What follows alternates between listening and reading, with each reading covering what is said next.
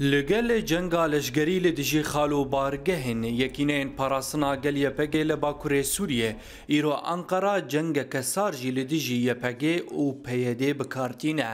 Ya dawî gotina Wezîrê Derve yê Tirkiyê Mewlût Çawîşoglu, Ku ji Mûnixê PYD ji xwe re kire kar û ragihande ku YPG û DAIŞ'ê hewla wê yekê didin.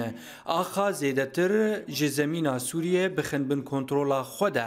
Herwiha firotina çek û petrolê jî li gel hevdû dikin.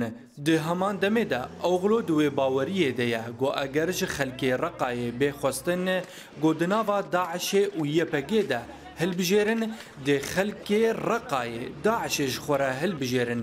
Ji ber û li gorî gotina Oglu, DAIŞ'ê li ba xelkên Reqayê ji YPG'ê çêtir e.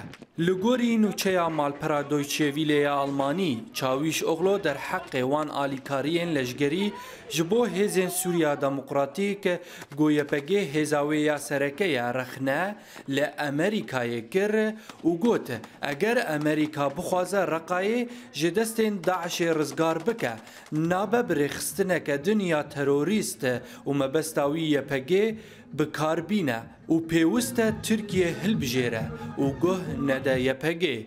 Her wisa û li gorî gotina wî pêwist e Amerîka hêza bejayî bişîne Sûriyê û şerê DAIŞ'ê bike.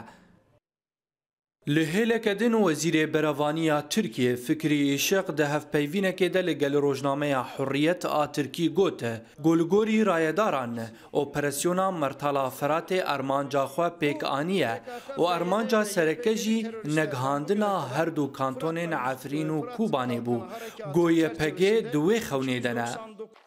Di pazdeh û şazdeh vê mehê de wezîrê berevaniya Emerîkî û yê Tirkî bo rewşa Sûriyê civînek pêk anîn û çend babetên giring jî gengeşe kirin.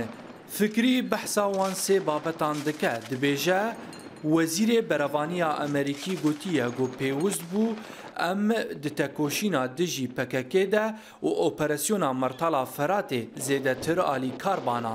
Lê em xemsar bûne û derheqê babeta sêyem de Fikrî diyar kir ku Amerîka soz daye rê nede ku her du kantonên Efrîn û Kobanê li bakurê Sûriyê bigihêjine hev.